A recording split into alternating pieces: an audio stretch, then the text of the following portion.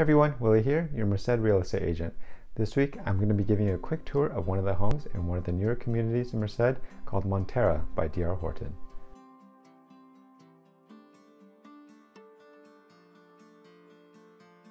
This community has been under construction for the past few years and has gone through several phases of releases.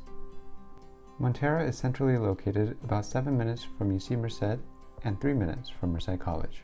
Monterra has about 7 different models to choose from, but today we'll be looking at the Monroe model, which is a two-story, five-bedroom, three-bathroom home with more than 2,800 square feet of space.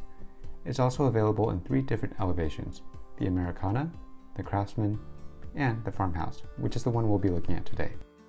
As we enter, we see the stairway to the left, and to the right, we see the downstairs bathroom. The first bedroom is also here across the bathroom, but it's currently unavailable to view in the model home. Down the hall, we see the formal dining room on the right, and it also has direct access to the kitchen. The kitchen has plenty of counter space with a center breakfast island, granite countertops, stainless steel appliances, plus a walk-in pantry. In the great room, we see the second dining area and the very spacious living room. As we make our way upstairs, the first thing we see is the spacious loft that can be used as a secondary gathering area for entertainment. And here we have the owner's suite with a large and spacious bathroom and a giant walk-in closet.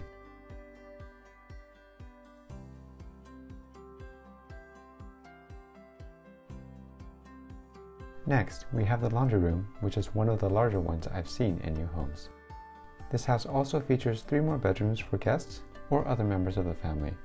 Two of the three bedrooms actually have their own walk-in closets.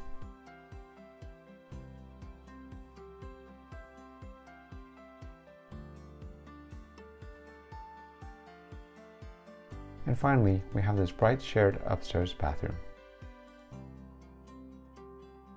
Okay, that's pretty much it for the tour. If you're interested in this model or any of the other communities in Merced, just send me a quick message and I'll help you out. Thanks for watching guys. Please like, subscribe, and leave a comment, and I'll see you in the next one.